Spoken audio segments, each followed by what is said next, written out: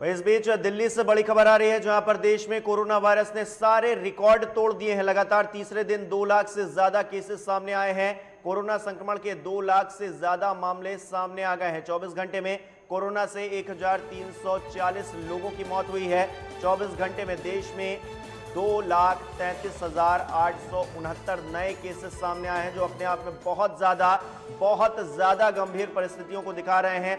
लगातार केसेस बढ़ते चले जा रहे हैं और कोई भी कंट्रोल इस पर लगा पाने में समर्थ नज़र नहीं आ रहा है। तो दिल्ली में और तमाम राज्यों से जो तस्वीर उभर कर सामने आई है पूरे देश की, वो कोरोना के सारे रिकॉर्ड तोड़ती हुई दिख रही है। देश में कोरोना वायरस ने सारे रिकॉर्ड तोड़ दिए हैं, लगातार तीसरे दिन। दो लाख से ज़्यादा केसेस सामने आए हैं और ऐसे में परिस्थितियों का आकलन आप खुद भी कर सकते हैं। कोरोना संक्रमण के दो लाख से ज़्यादा मामले सामने आए हैं। पिछले 24 घंटे की अगर बात करें तो 1340 लोगों की मौत हुई है, जो अपने आप में एक बहुत बड़ा आंकड़ा है और सभी रिकॉर्ड को मौत के आंकड़ों को तोड़ रहा है।